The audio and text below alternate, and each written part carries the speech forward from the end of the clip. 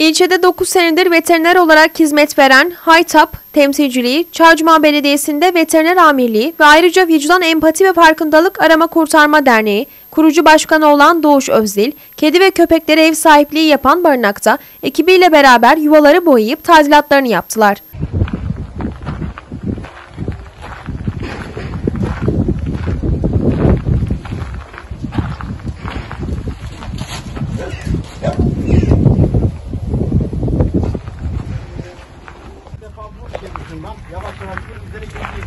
Haytap İl Temsilcisi Veteriner Hekim Doğuş Özdil, dernek olarak kendilerine ihtiyaç duyan her canlıya yardım ettiklerini belirtti. Ee, Yaklaşık 9 senedir e, zaten sokak hayvanları için belirli çalışmalar yapıyorduk.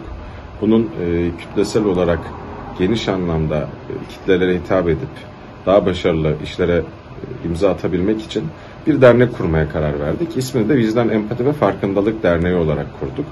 Sonrasında derneğimizde e, bölgemizde bir arama kurtarma e, timi olmadığını, derneği olmadığını fark ederek e, derneğimizde tüzük değişikliğine giderek derneğimizi aynı zamanda arama kurtarma bünyesi de ekledik derneğimize. Aynı zamanda Haytap il temsilcisiyim. Zonguldak il temsilcisiyim. Barınağımızı biraz daha güzelleştirmek açısından Haytap'la görüşmelerimiz sonrasında Haytap Et- Eti işbirliği içerisinde barınağımıza e, yoğun bakım üniteleri ve bir ameliyathane bağışladı. Bu e, bağışla bölgede belki de tek olabilecek kapasitede bir e, ameliyathanemiz ve yoğun bakım ünitelerimiz oldu. Biz de buna daha da katkı sağlamak amacıyla dernek olarak barınağın biraz daha güzelleştirilmesi, e, sahipsiz hayvanların daha yüksek standartlarda yaşayabilmesi için